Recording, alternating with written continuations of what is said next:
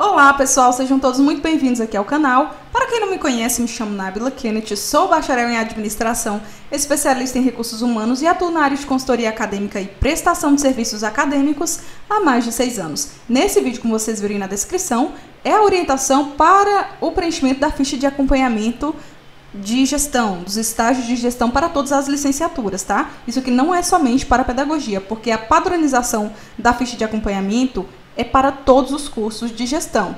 Que ofertar gestão, licenciatura, é essa ficha de 100 horas, né? Então é bem simplificado. Lembrando, estágio de gestão, o interessante é você colocar sempre 4 horas de vida. 100 dividido por 4 vai dar 25 dias. Tanto na tabela de horários que você vai cadastrar, quanto na sua ficha de acompanhamento, para não te dar trabalho, para você não ficar repetindo data, para você ficar confuso em, quant, em sabe quantas horas colocar não vai dar erro, gente, não vai dar. Então, nesse vídeo vai ser um vídeo muito importante para vocês. Vou estar exemplificando aqui, né? Só não vou seguir a data, porque como já tá tarde, é muito pouca da manhã, eu quero mostrar para vocês como vocês vão colocar a distribuição das horas e a descrição das atividades. Mas os dias, você pode colocar a data que você começar. Não tem problema, ali eu tô fazendo a data base. Então é isso.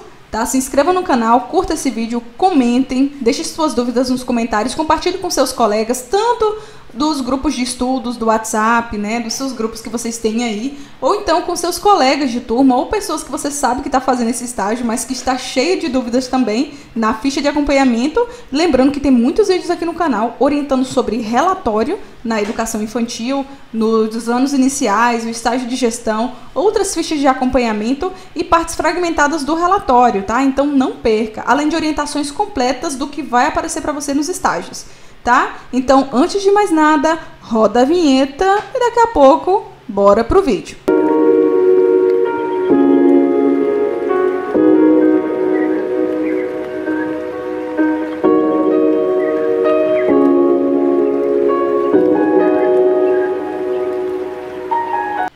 E agora a gente vai pegar a orientação. Nábila, mas o que eu faço?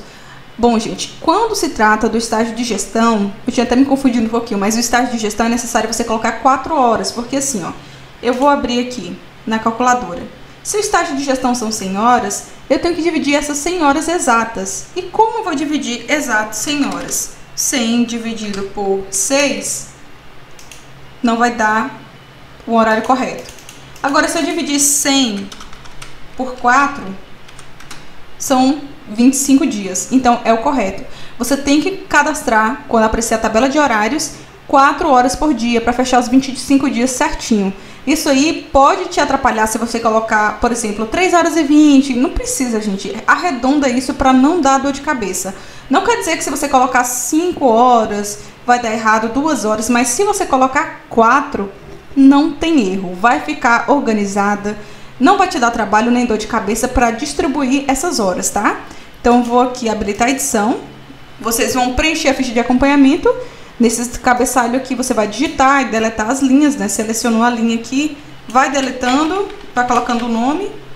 E aí, a gente vai focar aqui na parte que é o que importa, que é a descrição das atividades. Lembrando que eu não vou colocar aqui datas, eu não vou seguir direitinho, porque eu quero mostrar para vocês a divisão da carga horária. Mas a data você tem que lembrar colocar os dias úteis de estágio, de segunda a sexta-feira, né? O sábado e domingo para as atividades que são extras, porque tem atividades no plano de trabalho, como leituras obrigatórias, como é, elaboração do relatório de estágio, né? Tem a confecção na produção do relatório de estágio e outras atividades assim que você não precisa ter contato com a unidade escolar e que você pode fazer sim é, nos finais de semana, mas colocando 4 horas aqui vai dar certinho, nem precisa utilizar isso. Porém, nós não vamos focar em data, tá? Vou deixar aqui em aberto porque você vai selecionar pular feriado, não colocar a atividade que era na escola para ser realizada no final de semana, cuidado com isso. E a gente vai focar em horas e focar na descrição das atividades. Descrição também não precisa criar descrições. Você só vai copiar do plano de trabalho e jogar aqui, como eu vou mostrar para vocês. Por exemplo, eu vou aqui no plano de trabalho. Aí o estágio de gestão, que é esse, ó, é o de 100 horas. Então, eu vou copiar aqui, ó, atividade 1, visita a escola. vou pular só o asterisco, copiei e colei. Horas realizadas, duas. Pronto. Aí eu vou fingir uma data, não vai estar tá em ordem, tá? Eu vou fingir que será, por exemplo, no dia 8. 8 de agosto. Vou fingir que vai ser essa data aí. Aí, lembrando, eu coloquei 4 horas, né? Eu cadastrei 4 horas, porque tem que ser 4 horas. Nisso, eu vou pular para o próximo. Aqui, atividade 2, leituras obrigatórias. O que eu não posso é ultrapassar as 4 horas por dia. Aí eu vou colocar dia 9. Aí eu coloco 4. Basicamente é isso, mas você parece fácil, só que se você não se atentar, você pode confundir, colocar em data comemorativa, feriado, atividade que não é para ser realizada, igual a visita à escola, tem que ser durante a semana.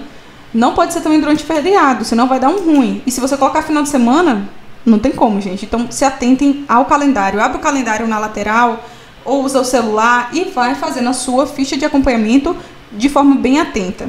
Vamos seguindo. Aqui, análise do regimento escolar. Dá certinho, olha. São 12 horas. Copiei aqui. Eu vou repetir ele três vezes. Colei e coloco data exemplo, tá? Não vão seguir nessa data que eu tô colocando aqui não, porque eu não tô olhando o calendário. 12. Aí eu coloco, repito também essas quatro horas. Pronto. Vamos de novo. Atividade de entrevista com a equipe diretiva e equipe pedagógica. E elaboração dos textos. Eu boto até aqui para não ficar nem muito longo e nem muito sem informação. Do mesmo jeito. São três, que são 12 horas, né? Vocês viram aqui, ó, 12. Aí eu vou repetir essas quatro horas. Pronto. Vou colocar aqui. Tá uma data sequencial, mas você tem que se atentar para não fazer o que eu tô fazendo na data. O resto você segue. Pronto.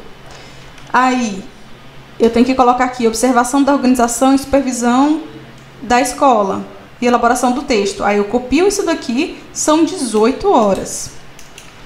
Aí eu vou copiar no caso, 18 vai ser 5 dias, né?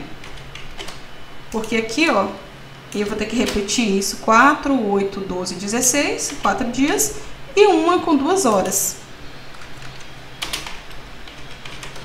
Nábila, mas eu cadastrei lá no sistema e tem uma data final. Se você cadastrou 4 horas, por exemplo, naquela tabelinha de horários, e tem uma data final, que se você colocou, por exemplo, dia é, dia 3 de agosto e tá uma data final no dia 30 de setembro, vai sim, vai ter que bater com as 30. Por isso que não tem como dar erro se você cadastrar dessa forma. Colocou 4 horas, não tem erro, são 25 dias certinhos, tá? Aí vamos dar sequência aqui, fingindo datas. Dia 16, coloca 17, 18, 19, 20. Pronto. Coloquei. Aí, ó, aqui já bateu. 4, 8, 12, 16, 18. Fechei as 8 horas da atividade 5. Depois só vai deletando aqui o asterisco que eu me empolguei e coloquei, né?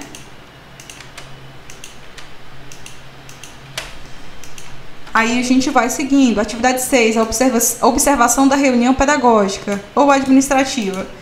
4 horas. Eu nem, não posso repetir o mesmo dia, porque senão não daria certo. 21 de agosto, Aí eu copio aqui. Quatro horas.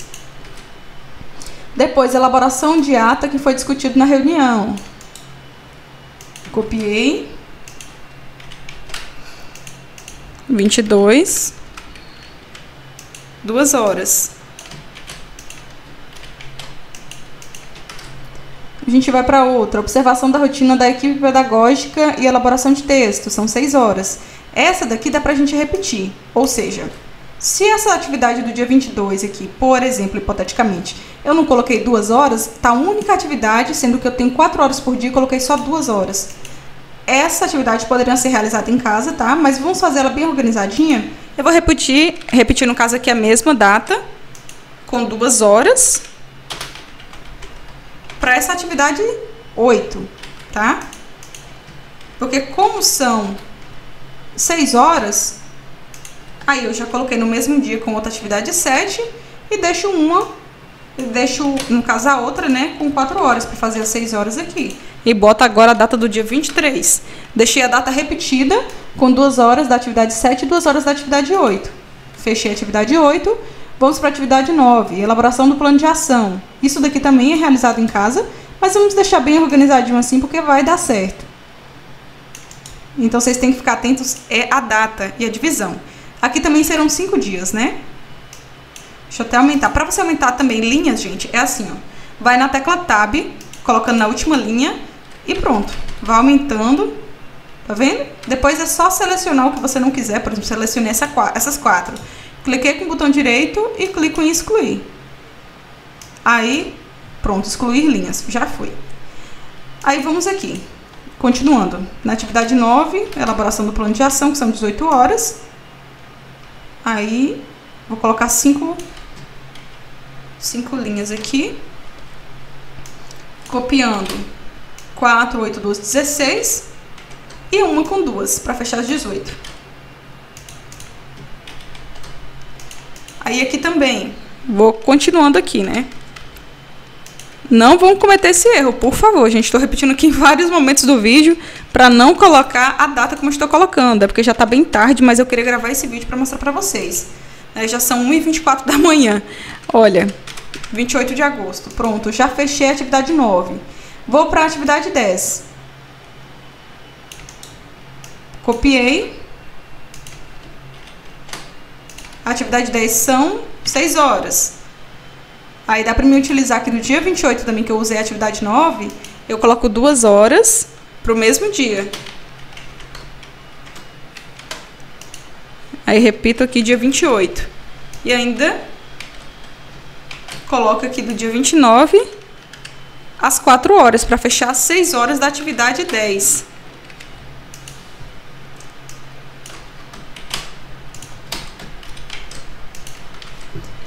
E agora, vamos para a atividade 11, que é a produção do relatório de estágio.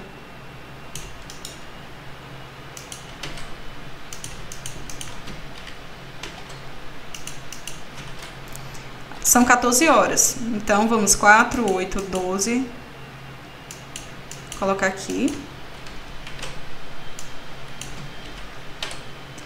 E mais uma com duas. Fiz 12 horas aqui, né, na atividade 11. E como são 14, falta mais duas horas. Aí eu coloco duas horas. E, e vou dando continuidade aqui às datas, né? 30. Aí vamos fingir que é até dia 30 aqui, dia 1 de setembro, 2 de setembro, 3 de setembro. Dia 3 de setembro eu vou repetir novamente porque a atividade 12, que é a validação do relatório, só tem duas horas. Então, eu vou copiar e vou colar. E colocar aqui duas horas. Pronto.